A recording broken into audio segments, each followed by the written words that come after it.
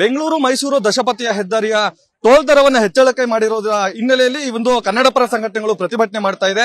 ಏನು ನಡು ರಸ್ತೆಯಲ್ಲೇ ಕೂತು ಏನು ಮೈಸೂರಿಗೆ ಹೋಗುವಂತ ರಸ್ತೆಯನ್ನ ತಡೆದು ಇವತ್ತು ಪ್ರತಿಭಟನೆ ಮಾಡ್ತಾ ಇರುವಂತದ್ದು. ಇಪ್ಪತ್ತೆರಡು ಪರ್ಸೆಂಟ್ ಏರಿಕೆಯನ್ನ ನೀವು ಕಡಿಮೆ ಮಾಡಬೇಕು ಅನ್ನೋದು ಕೂಡ ಸದ್ಯ ಕನ್ನಡ ಪರ ಸಂಘಟನೆಯ ಒಂದು ಆಕ್ರೋಶಕ್ಕೆ ಕಾರಣವಾಗಿದೆ. ಈ ಜೊತೆಗೆ ಈಗ ಮಹಿಳಾ ಹೋರಾಟಗಾರರು ಕೂಡ ಇದ್ರೆ ಅವರು ಕೂಡ ಮಾತಾಡ್ಸೋಣ.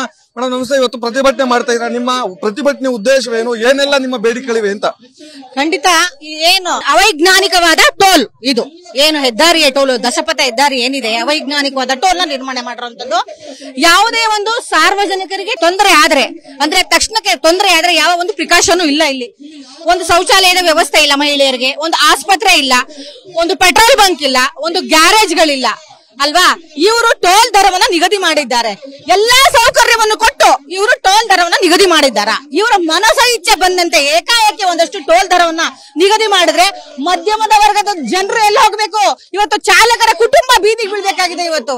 ಅರ್ಥ ಆಯ್ತಾ? ಒಬ್ಬರಿಗೆಲ್ಲ ಇದು ಪ್ರತಿಯೊಬ್ಬ ಸಾರ್ವಜನಿಕರಿಗೂ ತೊಂದರೆ ಆಗ್ತಿರುವಂತದ್ದು. ಆದಷ್ಟು ಬೇಗ ಟೋಲ್ ದರವನ್ನ ಇಳಿಸ್ಲೇಬೇಕು ಶತಾಯ ಗತಾಯ ನಾವು ಈ ಹೋರಾಟವನ್ನ ಕೈ ಬಿಡಕ್ ಚಾನ್ಸೇ ಇಲ್ಲ.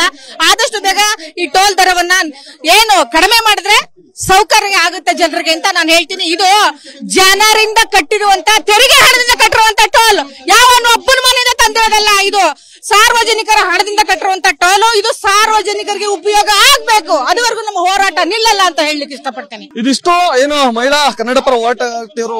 ಹೇಳ್ತಾ ಇರುವಂತದ್ದು ಅಂದ್ರೆ ಮೂಲ ಸೌಕರ್ಯಗಳ ಜೊತೆಗೆ ಇಲ್ಲಿ ಏನು ಕೆಲವೊಂದು ಟೋಲ್ ದರವನ್ನು ಹೆಚ್ಚರಿಸಿದ್ರೋ ಅವು ಇಳಿಸಲೇಬೇಕು ಇಲ್ಲವಾದ್ರೆ ತಮ್ಮ ಪ್ರತಿಭಟನೆಯನ್ನ ಕೈ ಬಿಡೋದಿಲ್ಲ ಅಂತ ಹೆದ್ದಾರಿ ಪ್ರಾಧಿಕಾರದ ಆಕ್ರೋಶ ಹೊರಾಗ್ತಾ ಇರುವಂತದ್ದು ಕ್ಯಾಮ್ರಾ ಪರ್ಸನ್ ಕೇಶವ್ ಜೊತೆ ರಾಜು ವಿಸ್ತಾರ ನ್ಯೂಸ್ ರಾಮನಗರ. ವಿಸ್ತಾರ ನ್ಯೂಸ್. ನಿಖರ ಜನಪರ.